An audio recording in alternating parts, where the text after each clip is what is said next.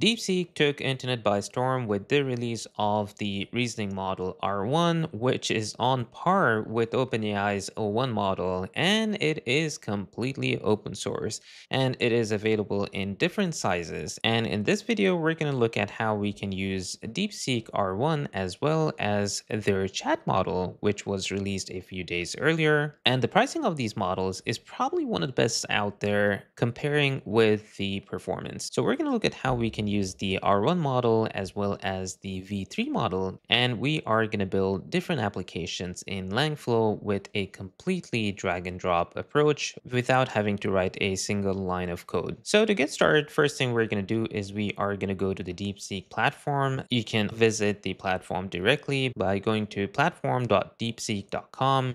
And the first thing you're going to do is you might have to top up the balance here and then get the API keys.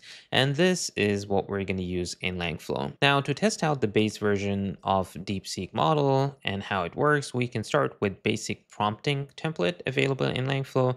So I'm going to click this and you'll notice that it is configured to use OpenAI as the default component. So we are going to delete that and we are going to add DeepSeek based chat model here. So I'm going to search for DeepSeek and we'll notice that this is available in the model section and then we just have to wire this up. Now, since I had one wired up, I'm just going to use that. So I am connecting chat input with the input and the prompt that goes to the system message. And if you notice, the template for the prompt is quite simple.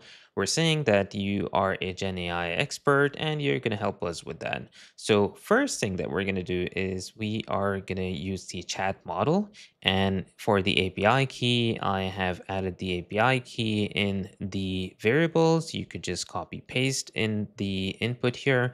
And then with that, we can start chatting. So I turned on stream. So I just want to see the response right away. So I'm going to go to playground and I'm just going to say hello. And what we'll notice is that the flow is going to run and with the stream we have the response right away. So just to give it a try, I'm going to ask how to build a Gen AI app with Langflow and we will see that DeepSeek Chat is going to provide us some steps on how to build the chat application. And it seems like it has some good knowledge on how we can get started with Langflow, install it, and from there build the workflows and then connect with our API and then either export as a code or connect with external frameworks and some examples. So this is quite nice. And also I have got reference to some of the resources. Nice.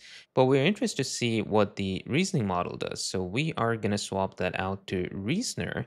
And now we're going to ask the same question. Just to avoid the chat history, I'm just going to delete the chat and I am going to ask the same question here as how do I build a Gen AI app with Langflow?